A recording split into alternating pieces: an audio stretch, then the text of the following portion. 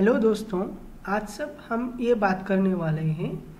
अगर आपको multiple e way bills generate करना है और उसके साथ कैंसिल भी कैसे करना है, जैसे कि bulk e way bill generation और bulk cancellation of e way bill कैसे करते हैं टैली प्राइम से, ये आपको इस वीडियो में बताएँगे।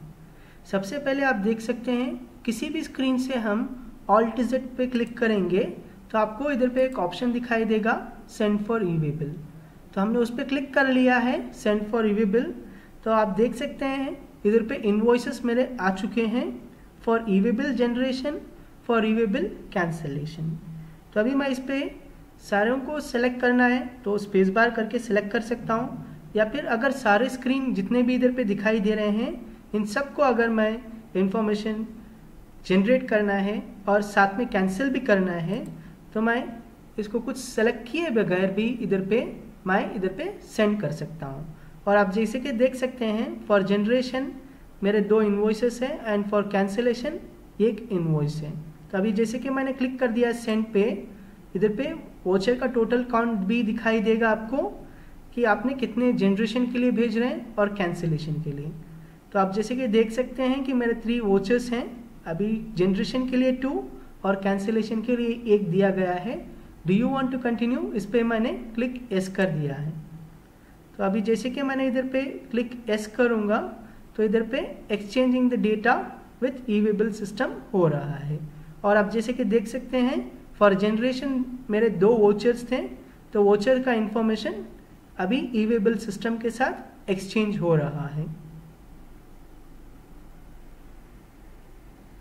अगर आपको ईवेबल जनरेशन बल्क भी करना है तो आपको इधर पे इंटरनेट कनेक्टिविटी रखना मैंडेटरी रहेगा और आपका टीएसएस वैलिड रहना है। तभी आप ये ऑनलाइन जनरेशन कर सकते हैं।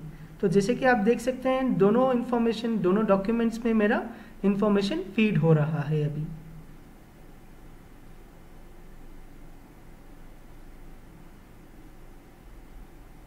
सो so, कैंसिलेशन के लिए भी मेरा हो गया है एक और डॉक्यूमेंट जो आपको इधर पे मैसेज में दिखाई दे रहा है।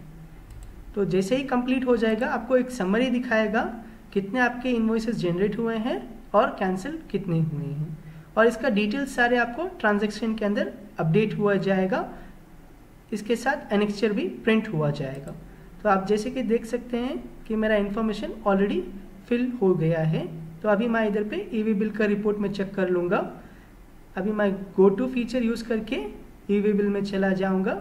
ई वे बिल तो अभी देख सकते हैं आप, इधर पे ई वे बिल जनरेटेड दिखाई दे रहे हैं और ई वे बिल कैंसिल भी दिखाई दे रहे हैं। अभी आप देख सकते हैं कि मेरे पार्टीज़ के जो ट्रांजेक्शन्स मैंने जनरेट किया था, वो ऑलरेडी आ चुके हैं।